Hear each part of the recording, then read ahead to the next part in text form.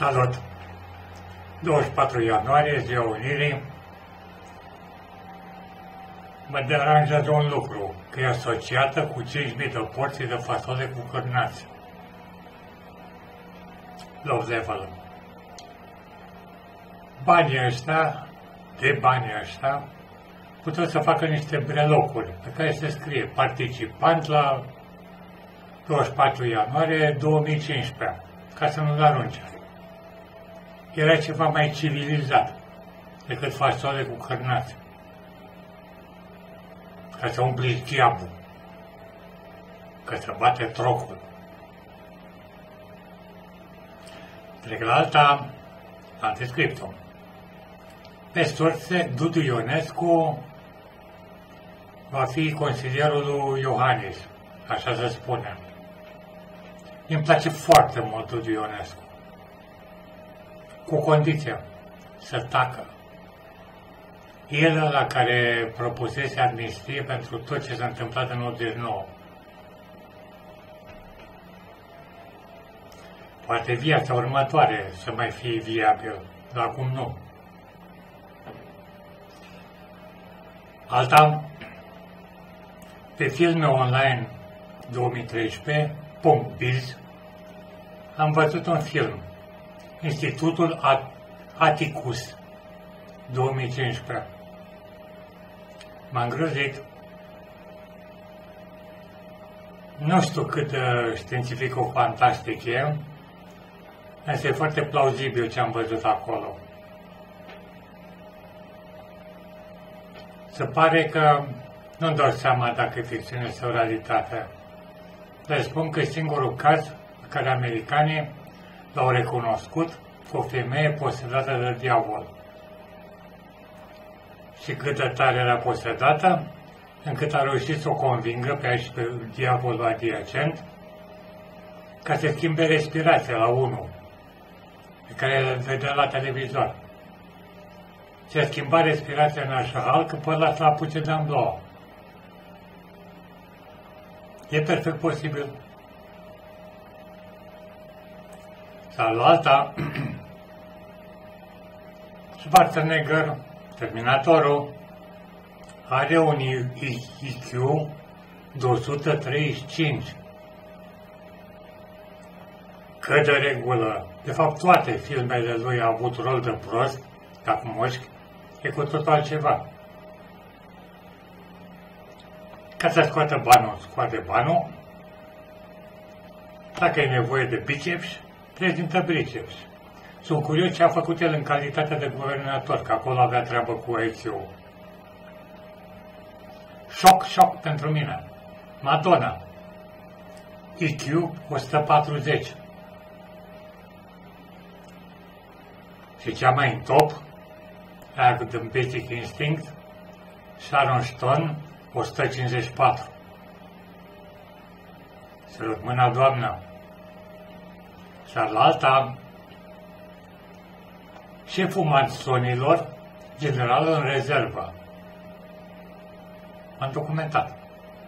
Eu nu Bartolomeu Constantin Săvoiu, născut în 45, deceliat cu mine, și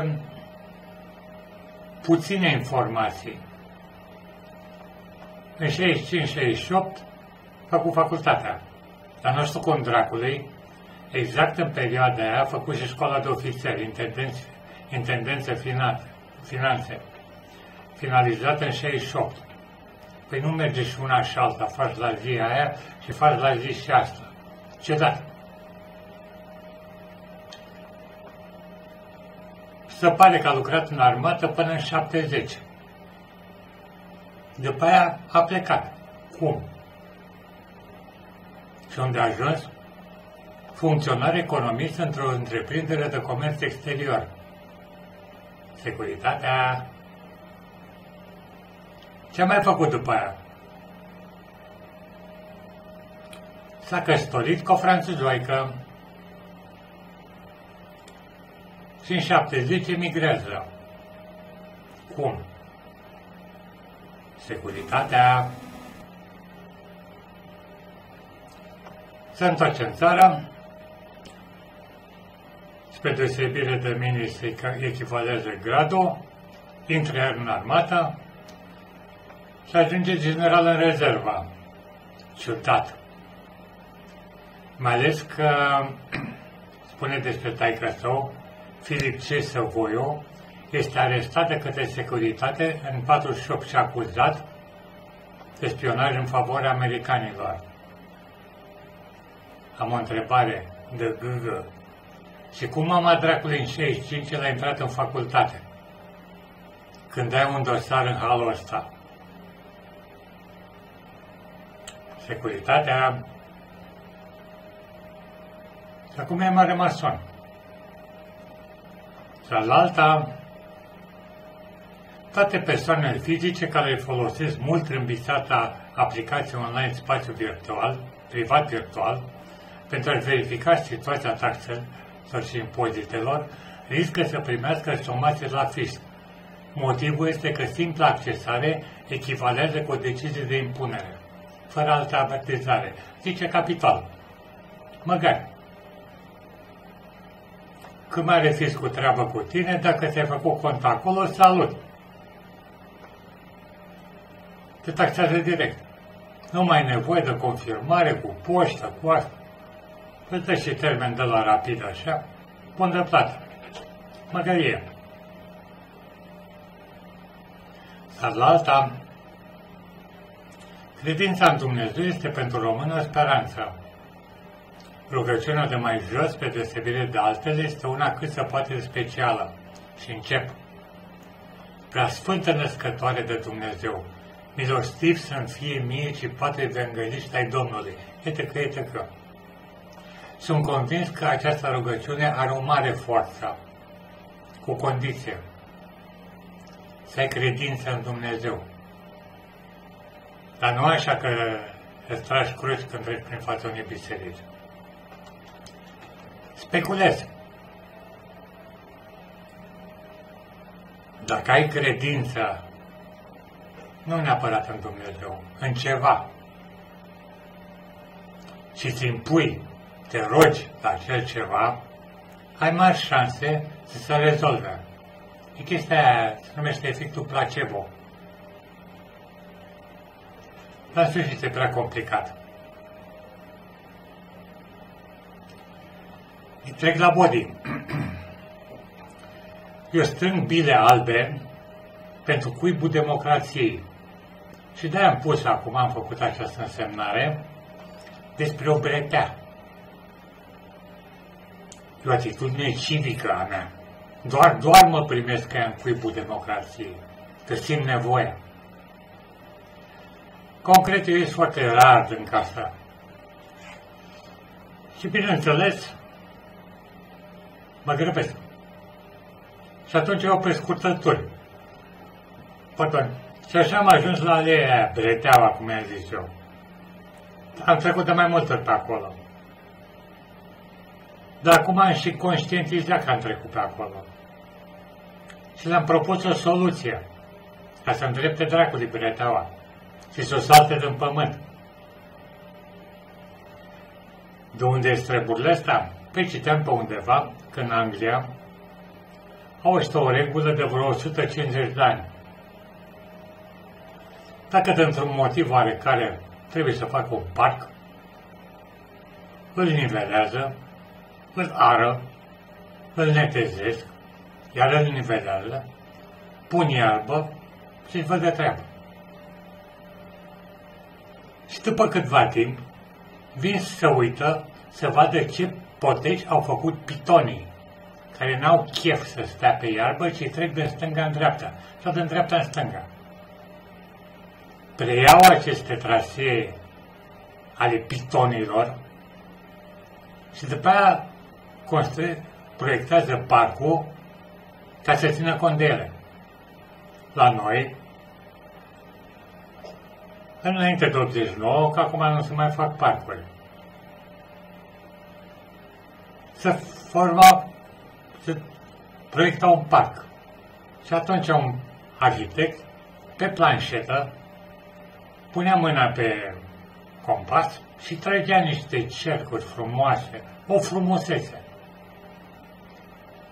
Din elicopter, din avion, din satelit, se vede foarte frumos parcul.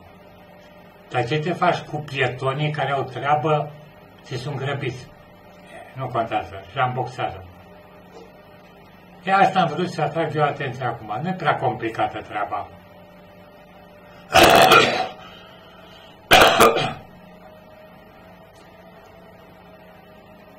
Scuze. La serviciul respectiv am două pile. E doamna Tifrea Ramona, este prima salariată a primăriei din cei 300 nu știu cât, care a arătat că știe să iasă din portal. Și domnul Mânzu Constantin, care e primul salariat al primăriei, care atunci când am venit eu cu idee creață, loc de parcare, parcă așa zice la ideea mea creață, n-a zis o tâmpenie, din principiu. Că după aia a rămas treaba cam în coadă de pește, e fața a doua. Asta e. Am vorbit puțin, le-am dat temă de studiu spre competentă rezolvare. Asta este un slogan al purtătorului de cuvânt al primăriei Brașov, Torcea. Este despre competentă rezolvare. Sunt curios ce să facă. Eu mă bifesc ca bila albă, dar tare mie că nu o să fiu demn ca să intru în cuibul democrației. Nu că nu am ce căuta acolo. Am prea mult ce să caut acolo. Și dacă mă primești pe mine să pun o întrebare, dar la ce dracu caut acolo? Și ar fi bine dacă la nivel Brașov ar fi 1% din cetățeni ca mine, care să tragă de mâine autoritățile și să uite și să și vadă și să și înțeleagă ce văd. Mai durează până atunci. Am mai dat un link, un dialog între Putin și Merkel. Putin spune un banc la nivelul lui, iar Merkel are o mimică fantastică. A halit bancul pe nevestecate și să vede pe fața ei. Bun politician. Toate bune, ne mai întâlnim. Ies din poziția de lucru, în materie de vorbit, și trec la normal, Cred că am atins tot. Da, jos acolo e captat și cum arată mesajul care l-am postat pe Brașov City. Îmi place că acolo am facilitatea ca să lucrez normal. Dacă depui o petiție, n-ai facilitatea ca să atașezi altceva la ea. Asta e o chestie care prin 2013 am atras eu atenția doamnei Gabriela Vlad, parcă o cheamă, care e șefa cu IT-ul. Dar nu vrea. Ne mai vedem. Ne mai auzim. Toate bune.